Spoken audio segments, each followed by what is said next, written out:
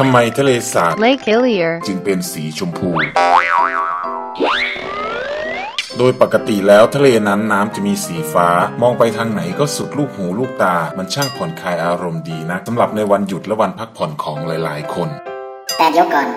มันยังมีอีกที่ที่หนึ่งทะเลสาบแห่งนี้ช่างแปลกจากที่อื่นนักเฉลยเถอะครับ One, two. สำหรับทะเลสาบ Lake Hillier, หรือทะเลสีชมพู เป็นทะเลสาบน้ำเค็มที่ตั้งอยู่ในหมู่เกาะขนาดใหญ่ที่สุดของหมู่เกาะแห่งหนึ่ง ที่ประกอบไปด้วยเกาะเล็กเกาะน้อยประมาณ 100 เกาะที่อยู่ทางตะวันตกของออสเตรเลีย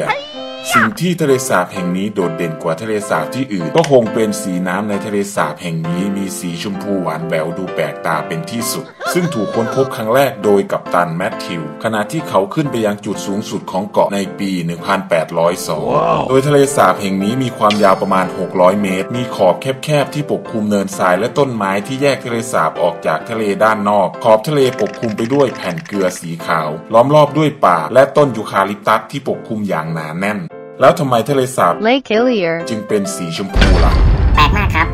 สำหรับเหตุผลที่น้ำในทะเลสาบแห่งนี้กลายเป็นสีชมพูนมเย็นนั้น ก็เพราะน้ำทะเลมีความเค็มมาก และมีแบคทีเรียดูนาริเอลลาซึ่งชอบอาศัยอยู่ในสภาพแวดล้อมที่เค็มจัดและกระจายอยู่เต็มไปหมดทั่วทะเล และแบคทีเรียชนิดนี้จะผลิตสารสีแดงในการดูดซับแสงอาทิตย์ จึงทำให้น้ำในทะเลสาบแห่งนี้เปลี่ยนเป็นสีแดงอ่อนๆในตอนกลางวัน และยิ่งเมื่อทะเลสาบต้องแสงแดดมันก็ยิ่งกลายเป็นสีชมพูนุ่มอ่อนได้อย่างน่าทึ่ง และนี่ก็คือที่มาของทำไมทะเลสาบ Lake Hillier, จึงเป็นสีชมพู